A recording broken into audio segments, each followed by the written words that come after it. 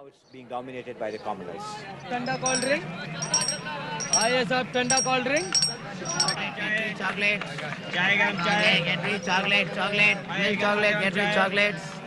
The watching of test cricket, mm. and I emphasize watching because in my long experience, I find as time goes on, that shall we say, out of an average of 50,000 people in a stadium these days, at any big center in India, I should swear that not more than 10,000 really know the game. I think what has single-handedly made this game three times more popular than it was, say, three or four years ago, I would unhesitatingly say it is the broadcast in Hindi commentary of cricket matches. Cricket was very much an urban game. It belonged to the cities where people followed cricket on transistor with English commentary. But when the commentary was started in Hindi, the game of cricket went to that 80% of population living in villages, and particularly the northeastern belt, which is the Hindi-speaking belt. And I think for once, cricket really took deep roots when we started doing commentary in Hindi. And I think it is that which has made this game far more popular, far more acceptable to the common cause of this country than ever before.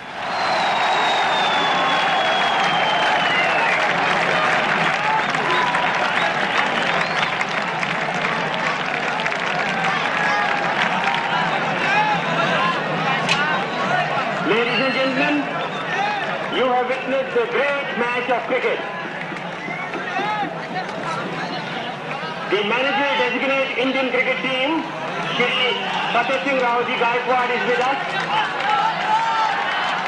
And the trophy will be presented by him to the captain of rest of India team, who is also captain designate Indian cricket team, which is going to Pakistan in November.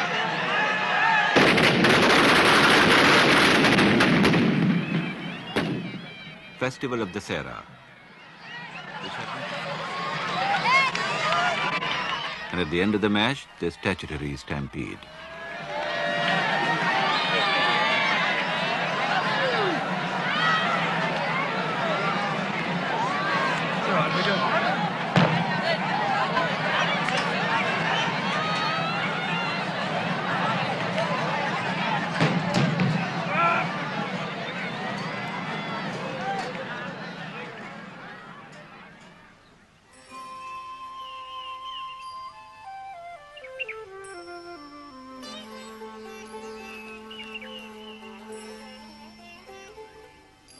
Another ruling house that did much to promote cricket in India was the House of Patiala in northern India. The Baradari ground in Patiala.